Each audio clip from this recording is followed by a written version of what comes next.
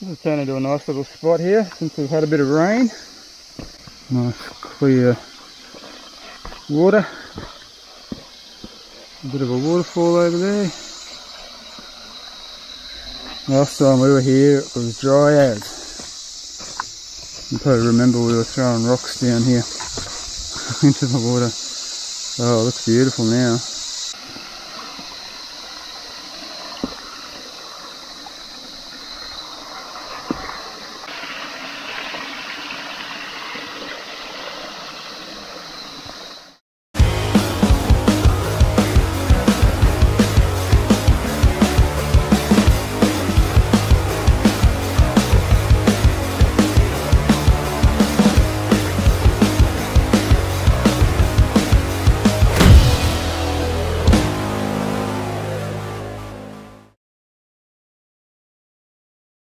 Uh, sorry about that uh, little distraction there. now we'll resume our normal programming. Welcome to our camping gear video guys. And of course the lovely Natalie is back for her first proper ride since breaking the little wristy wrist and getting straight into it, fully loaded. This could be a long one. It's going to be pretty comprehensive. Uh, all the stuff we've got. We're heading out for a camp and when we set up we're going to go, go through all the stuff that we're carrying and, and all that crap. Uh, the first test is going to be the saddlebags. I've gone totally rackless on the T7 at the moment. I don't have any rack on their back at all. I've just got the duffel tied on with the uh, tie down points. Actually added a couple of little tie down points myself here on the B&B tail tidy. And I've got the Nelson Rigg Dual Sport saddlebags which just sit on the on the side there without any rack. This one here is a little bit close to the exhaust but so far it's been fine. And uh, Nat's running the same same setup. Got the OSR 40 litre dry bags on both and the Rigg uh, saddlebags. That's got the little uh, Nelson Rigg Hurricane Enduro tank bag on there today and I've got my favourite uh, Nelson Rigg Trails End tank bag. Uh, so if we make it to camp and we start setting up we'll come back to you um, as we're unloading everything and go through it. Alright, we have arrived at camp on Benny's private property. Thanks for letting us have a camp here mate, you're awesome. Not a bad spot here to sink a few coldies I reckon. Alright, we'll um, unpack the bikes one at a time and show you how we've got it set up. We're not saying that we're experts at this, far from it. We're very new to this game, but we just want to show you guys what we've done. And maybe you'll get some ideas. Maybe you'll have some tips for us. If we're doing something stupid, leave a comment below and tell us your better way of doing it. For starters, obviously, running the Nelson Rigg tank bag up here, that's got the usual stuff, a drink of water, torches and all that important stuff in there, wallets, phones running the OSR 40 litre dry pack with all our clothes and bedding stuff in there. So how did it, did you notice Nat, how the bag was going without the rack? Was it bouncing around no, too much? No, I didn't notice anything. No, it was like it, it was like it has always been sitting there on a rack. It's pretty solid, eh? Like it's, Yeah. it ain't going anywhere. No. So it's just held on with two two straps which go over the little screws. Very, very simple setup, quick to get off. Nat's still running the gotcha straps on hers. I couldn't run those with with these little tie down points, but this seems to work pretty well. So yeah, these um, OSR dry bags have a little air release valve, which is pretty cool when you're scrunching them down. Alright, so on top is clothes, so I can chuck a t-shirt on when we get to camp. Alright, so what we're going to do guys is get comfortable. So that's my clothes bag. I've got going to get changed. We're both going to get changed. Um, that's that's got the old gotcha straps on the duffel. Good old gotcha straps, bright salmon in colour. Thank you, Marky Mark at Biker Bits for the gotcha straps. Want me to carry that, you bloody wuss. You call me a wuss? Seinfeld references, love it. Right, might be worth noting guys too that because we're a team and we're camping and riding together, we share the load, so it makes it a lot easier. Obviously we only have one tent between us. Well, you know, we only need one cooker and, you know, we share the meal and all that sort of stuff too. Uh, anyway, so all we've done so far is we've got our clothes bag, just camp clothes, our summer camping gear, shorts, t-shirt and thongs. First thing I'm going for right now in here is a luxury item which we've never brought before on a camping trip on the bike and that is a little cooler with some cold beers in it. Check that out, eh? That's a sight for sore eyes when you're camping on the bikes and you've been riding all day and you're sweaty and dusty and hot. Oh, we didn't bring any coolers. Oh, dang. They're still, they're still even a little bit cold. they're definitely frothy. At least they're not going everywhere. Yeah. Cheers. Cheers. So my, my bag's got the the domicile, the tent, Supercheap Auto tarp. I don't remember how big it is, but it's big enough for our tent to go on it anyway. I might just unpack all this stuff first and then we'll set the tent up and everything just so you don't have to watch us set up because that's pretty boring. Um, this is the tent. See, we pack it like Mark Mark Victor does on Biker Bits, which is freaking awesome. We don't roll it up, pack it up into a little bag we just stuff it from there. The tent goes in the bag loose, fly goes in the bag loose.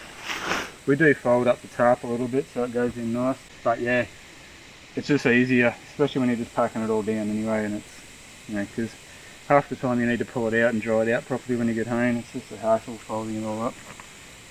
This way is much easier, trust me. Also in here we've got a little baby hammer for hammering in pegs. Nat thought that'd be a good idea. I thought using a rock would be better. Josh thinks it's ridiculous. but it does do the job. Sometimes rocks can be a pain in the ass to hammer pegs with. Especially when you don't have rocks around. True.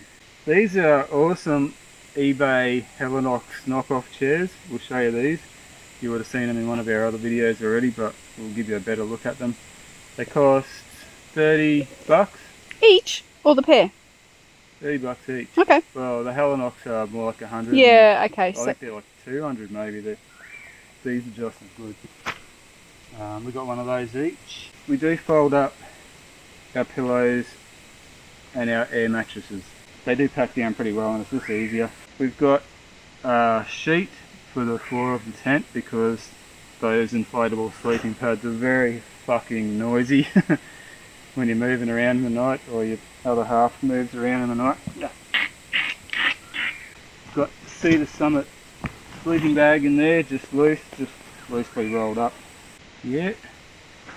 And the tent pegs and poles. Now the tent we've got, I'll show you in a minute, but it's a Coleman Ridgeline 3. It's an awesome little tent, easy to set up. It's been pretty good so far, hasn't it? yeah. Um, the only thing I don't like about it, or that we don't like about it, is that you can't move it around when it's set up. It's, it's not freestanding. Um, And it doesn't really have like flip up windows for ventilation. no, You've just got a door and a couple of tiny little flaps. yeah. Anyway, guys, uh, that's that bag done. Uh, we'll set up the tent and we'll come back to you. Yes, we really do need a fly. Look at the sky, it's going to rain. anyway, guys, yeah, this is actually a hiking tent. Obviously, I guess most motorcyclists use hiking tents because they're really lightweight um, and compact. Nice uh, lightweight aluminium poles. Piece of piss to set up. We've just got the two poles so far threaded through and a peg on each corner pretty much. Then we just throw the fly over. Usual drill. there ain't nothing uh, different from any other tent. So it's supposed to be a three man. It fits two of us comfortably, plus most of our gear. Hey? Yeah. Uh, it seems like good quality though, and uh, we got it on special. I think it was around about 160 bucks on special. This tent, it's a pretty good deal. Normally they're around 220, going by memory. It's got these style pegs too, which are pretty cool. They're really lightweight. They're not, they're not excellent, but they're okay. Right, the tent is up. I thought it was up. She's still fucking around. Anyway, we decided to go with inflatable sleeping mats. I, I really generally can't stand air beds, but these are insulated and they're actually really good. They're not cheap. They're uh, they're Sea to Summit Ether Light XT. Again, a tip from Mark from Biker Bits. He reckoned they were a game changer, so we got them. Did I say they're not cheap? Because they're not cheap. Uh, we've got quite a bit of Sea to Summit stuff, and none of it's cheap, but it's um, it's all good good quality gear. It's made in Taiwan, but um, no, it's good stuff. And they come with their own little pump sack in here, so you don't have to blow it up with your mouth or bring a separate pump or anything. Uh, and the, the benefit of using the pump sack obviously is you're not filling it up with moisture from your breath and that way it doesn't go all mouldy and stuff. Plus, you know, it doesn't, it saves you from going all, plus of course it's set you need to put them in. loopers. Plus, of course, it stops you from going all dizzy when you're puffing and panting into a airbed. Look at these march flies, man. They're huge. Right, so you plug it into the hole, the little bag. You just blow in there. You may think, oh yeah, you're blowing your moisture breath in there anyway, but it's it's different. Trust me.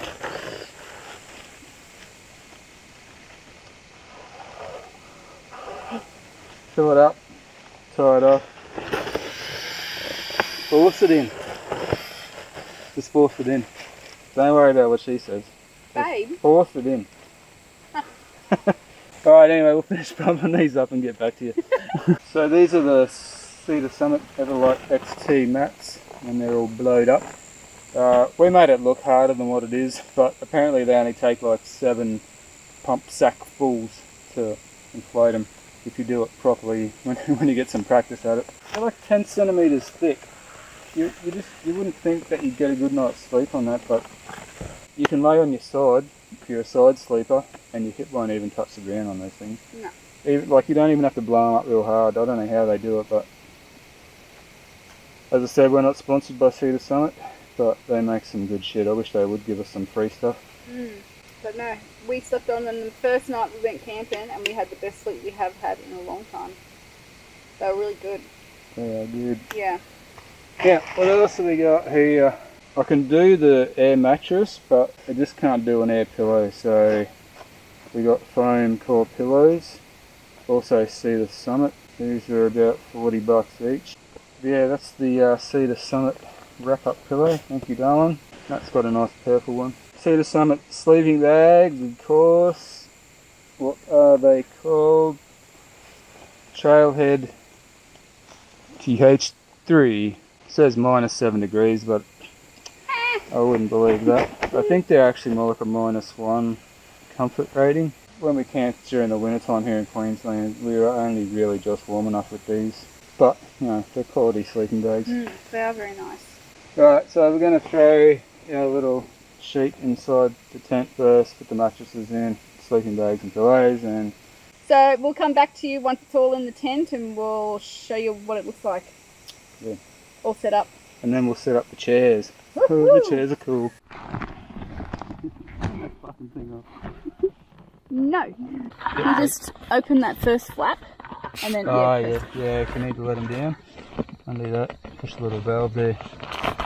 You can fine tune it while you're laying on it, it's pretty cool. Get in there and make my bed. So this is the Chateau La MVDBR for tonight. Give you the grand tour. There's that. And that's it. so yeah, not a bad little setup. It's going to be a sweaty night tonight I think. Oh yeah. staying like It's already stinking hot in there. It's only getting down to like 21 Celsius tonight, so. What I generally like to do is hang my boots over the bike like so. If, that way if it rains or if there's dew or whatever, it doesn't sog up my shit.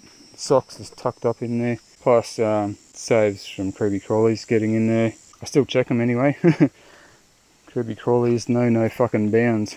Before we set up the chairs, I'll just show you guys what else we carry in the saddlebags and that. Okay, so my left hand saddlebag's got the tools, pretty much all the, tools for fixing the bikes or whatever. Spare tubes, tyre levers, pump, tyre gauge, zip ties, First aid kit.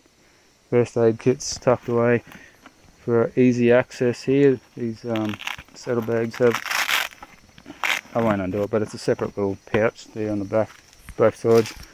This one's got our water in it. I'll show you that in a minute. That's got that's got all the cooking gear and and eating stuff in here, which we'll show you again properly later. Uh, this side's just food, isn't it? Yep. So that's the the munching wagon. Little food I need the munch. toiletries.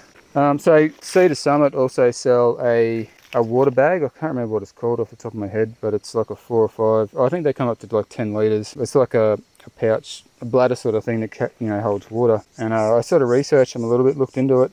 They're nothing but uh, an actual goon bag inside a, a canvas sort of pouch. So I made one myself because we drink goon all the time. so just inside there. So it's got a silver pillow. Man, these things are tough as. You wouldn't believe it. I, you know, I could probably stand on that and I wouldn't bust. Put anything sharp next to it and it's a different story. But this is the Woolies shopping bag, 99 cents at any Woolies. Do a bit of stitching here with fishing line or dental floss, I think it was actually. Cut a little hole there for the, the goon bag. And uh, you got yourself a four litre water bladder. But yeah, we've been drinking that today and it, uh, it doesn't taste like goon anymore. Oh, wine, sorry. You can easily um, refill these so that black part there just pops off of the, the white part to refill it and to wash out the, the wine stench. yeah, and then it's got a little handle to hang up somewhere and you've got yourself some water. Brilliant idea if I do say so myself. If you're worried about it busting, um, it takes up very little weight and space to carry a spare bladder for one of those. So yeah, there you go, you can just hang it off bike, you can hang it up in a tree if you want. Little goon, goon bag uh, on the end of it, laughing. Yeah, so we'll set up the chairs now. Nat's going to demonstrate how to set up the $30 eBay chair. It comes in its own little Oh, sorry. cheap canvas case, which Yep. is pretty cool. So there's your seat base. Alright, and this is this is the frame, this is it. All snaps together with elastic, just like a tent pole. Yep. No tools required. Except for the one putting it together. Genius. Helinox invest millions coming up with that design and the Chinese knock it off Yeah. and sell it to us cheap. So it's got some really hard plastic pockets for the, the peg ends, if you want to call them peg ends, chair ends or whatever. And they just sit in there like that. Not the idea the other one. This one's really tight for some reason. I'm not sure why. But it's not that hard when you don't have a broken wrist. This one makes sure that you get the that's the bum part. You don't want to be sitting on the, the mesh. But yeah, that's it. And I'll tell you what, not bad. So one good thing about this little tent is it's, got a little vestibule area there. It's not very big, but it's big enough to put your boots if you want to, and your you know your bags and your helmets and all that stuff without having to put them inside the tent with you. Still got a bit of fair bit of sunlight left, so we're gonna go down to the edge of the cliff over here and suck on a few coldies and listen to some music. Not bad, eh? we'll come back to you when we're getting dinner ready and show you our cool cooking gear. Yeah. There's 11, Barry. right, we decided to cook down by the the view tonight. I don't think we're going to have a fire. We may have a fire later. But we probably won't have a fire. But anyway, this is our entire cooking setup, guys. Starting over here, we've got the uh, butane gas for the little cooker thingy. This is our pot with everything in it. Uh, some plastic bowls. We just use bowls for breakfast, lunch and dinner pretty much. Uh, this is a windshield for the cooker and this is our little table. I'll show you the table first. We'll get that going. This was cheap as on AliExpress. I think it was about $15 or hmm. something. It's so freaking, it's light. It weighs, I don't know what it weighs, but it weighs nothing. I can balance it on my finger. It's flimsy as, it's thin aluminium, but it's it's lightweight. It just folds out like that, and there's your tabletop. And then you've got uh, these little things that fold out. And so what happens is you put that one over to there, this one goes over to there, and then you fold up the legsies like this, and you get yourself a little table there. How cool is that? Don't get much lightweighter than that. Lighter weight than that. and then you just need some level ground to put it on. That's pretty alright there. Yeah. Very basic, it's just a fold out aluminium shield, keeps the wind off your cooker. So you can stick it into the ground with these little pegs, but I'm just going to let the wind blow it around. anyway, before we use that, I'll show you what's in here. Well, it's all in there. And it's all covered in milk. We had a bit of a leak.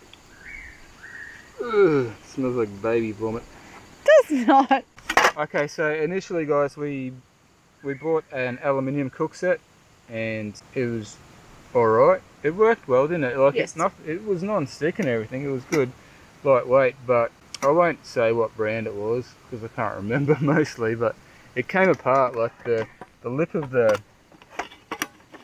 the lip of the um, the pot came away from the, the rest of it, and it, you know we got it from Snowy's and they gave us a refund for it, and um, that was great. But we thought, bugger it, we'll just get some stainless stuff this time. We just got the pot. We don't we don't use a frying pan. We just got the we cook meat and stuff in this. Uh, so it's a Sea to Summit. This one is stainless Sea to Summit Sigma pot, 2.7 liter. And uh, yeah, we've used this a couple of times. It's pretty good. So yeah, it, it's got the it's got a silicon coated handle which folds in there and clicks onto the lid, holds the lid on. It doesn't hold it on really well, but um, yeah, it works. And then when you pull it around, it clicks in, and then you lock it into place, a little plastic thingy, and, and you've got a handle. And it's got a little silicon thing for the lid. Put that on the side of the thing. So Ah, that's what that is. Yeah, it's got a little tab there, so you can hook it on the on the side of the pot, which is pretty handy. Um, okay, so what's in there? What's in there? Our little gauze mat helps shit not to burn when you're cooking on gas.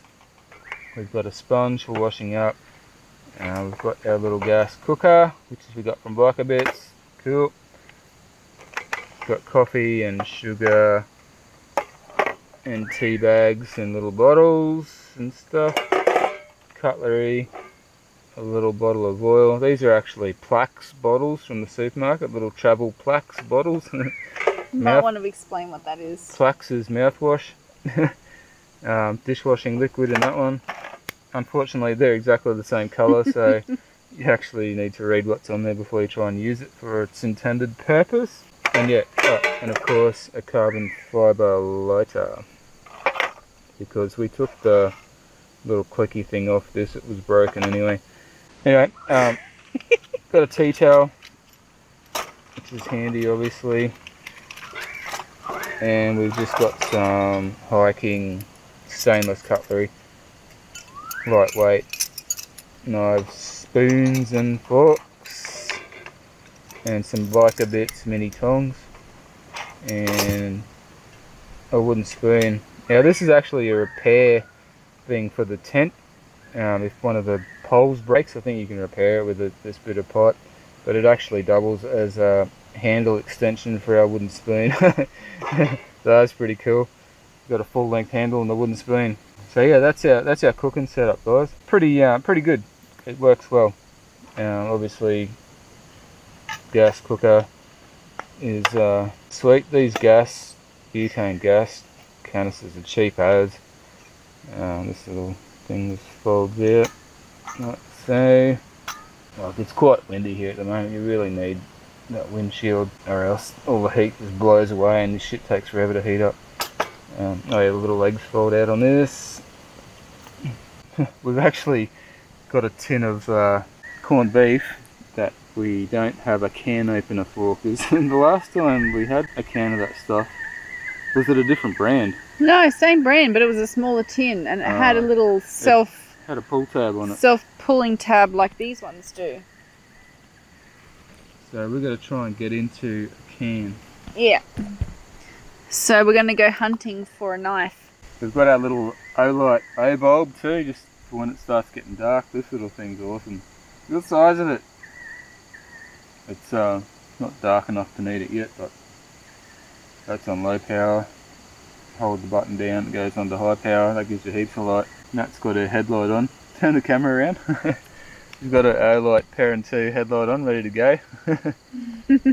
Something I forgot to mention when I've been talking about um, the Olight gear too. A lot of it has a lockout feature, so when you're transporting it, like I keep this in my tank bag or whatever, you don't want it accidentally coming on and, and the battery going flat. Got you that time. uh, so, what you can do is hold down the button until it goes on and then back off again and it locks it out so you can't turn it on. It will come on while it's pressed but um, yeah it locks it out and then you just hold it down again until it comes on. Cool. The same with the uh, the little Warrior Mini that I keep in my pocket. um, yeah, so if you don't want it coming on while you're while it's stored, hold the button down. There you go. And it won't do anything. So you hold it down again. And then we're back in business. Anyway, yeah. Can't wait to test this little fellow out tonight. It's our first time camping with the Olight torches and I think they're going to be awesome. Anyway, let's go get this can open. it's not going to be fun. I think we'll probably try and video it. The Moto chick's insisting on doing it herself. She's going to freaking cut herself, I reckon. Yeah, let a boy have a go. Don't you dare give me that shit. This knife will never cut again. ah, piss off! he's raging because he's getting bitten by Marchies. Slicing through it like butter. Oh yeah. Oh, you're the best. We can eat. Woohoo! Look at that goon bag in action. Ah, ants! Oh. fucking hell! That's it, I'm going home. We haven't actually used this windshield with the table. Actually, it's the first time we've used the table too. It doesn't really sit on there, obviously, but um, it's fine. It'd be good if we were on level ground, I think. But it's a bit of a slope here. Hunting for firewood with the Olight Warrior Mini. That's that's on power saving mode. If I crank it on to bright, oh yeah. Spot firewood from 10 miles.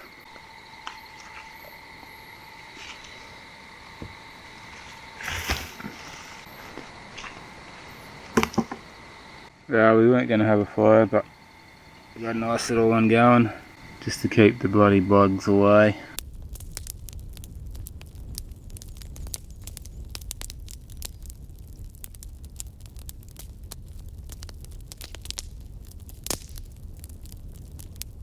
Little Obulbs are sitting over here, keeping a little light on for us over near the bikes.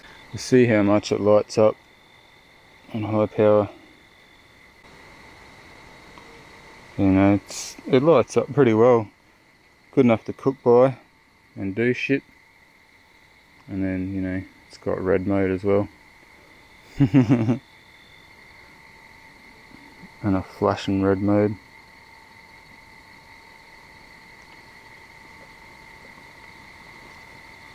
But just like on night light mode, it's pretty cool. Just gives you a little bit of light to see by. And stick it to the bike, stick it to whatever. And it'll run for like 50 hours or something like that on, on that low power mode. So, survived the night.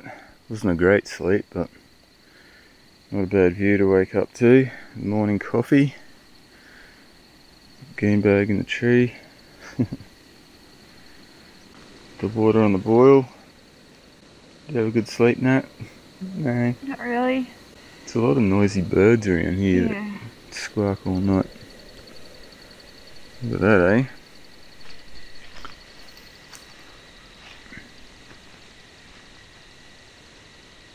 Not bad. March flies are starting up as soon as it got light this morning, they were buzzing around the tent trying to get a feed on us. So far they haven't found us out here. It won't be long.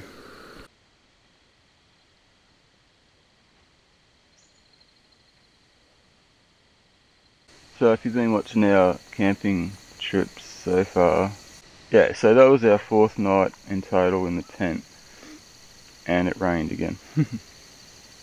so that's four nights in the tent four nights of rain. but like, it was only a few light showers, it wasn't much, but still, it's funny.